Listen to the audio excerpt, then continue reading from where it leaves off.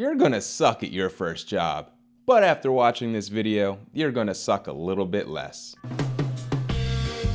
Hello and welcome back to CapOhTV, the channel where we know school was a joke and now you have to live with it. Your first job can be a train wreck. You're in a new place with new people and you don't know what to expect. But it doesn't have to be a complete disaster. So let's talk about a few reasons why you'll suck at your first job and what you can do about it.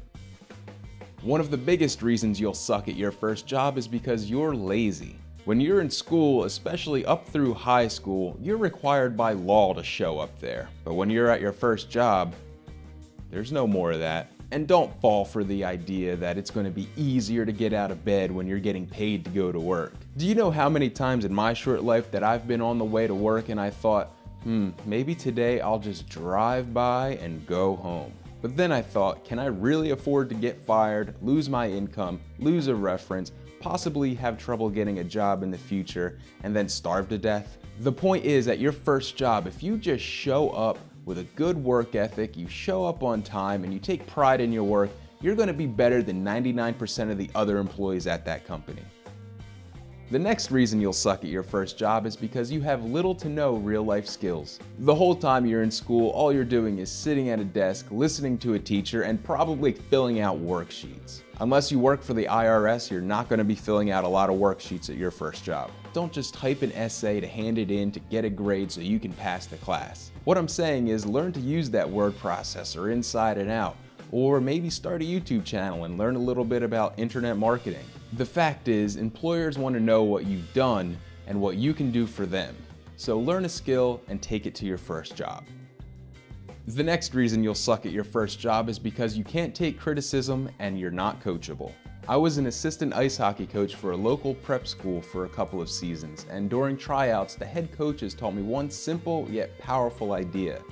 The ideal player is someone who's coachable. They understood that you needed a few super talented players for clutch moments, but in general, what they looked for was someone who was coachable. And being coachable means that you're able to take criticism and act on it to improve your own abilities. In fact, what would happen with the super talented players if you tried to give them some advice, they would get offended, shut down, and do whatever they wanted on the ice. Real dumb. So at your first job, be humble, be coachable, make yourself better, and your employer will love it.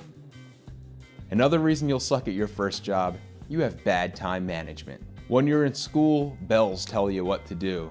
Teachers tell you what to do, principals tell you what to do, your parents tell you what to do. Pretty much your whole day is laid out for you you don't really get a lot of opportunities to manage your own time for productive activity. And when you do get a big chunk of time to do whatever you want to do, you spend it watching YouTube, Netflix, playing video games. But at your first job, take control of your time and when you're on the clock, get things done. Any employer, no matter where you go, likes knowing that they don't have to babysit you.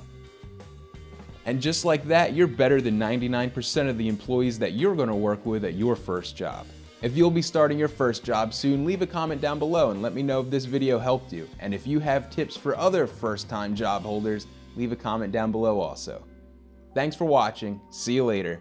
Bye.